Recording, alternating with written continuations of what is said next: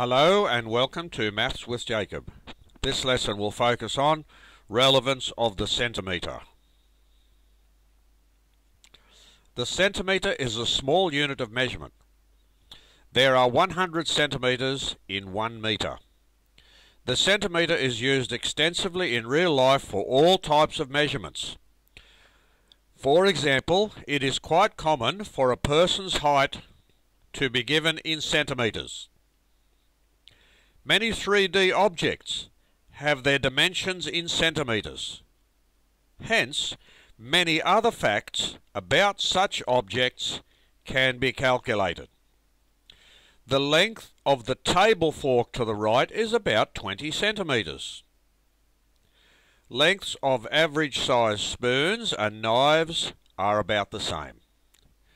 The measurement for the high chair to the right is also given.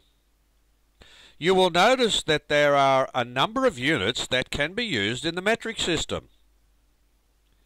Conversions from one unit to the other are easy because of the factor of 10.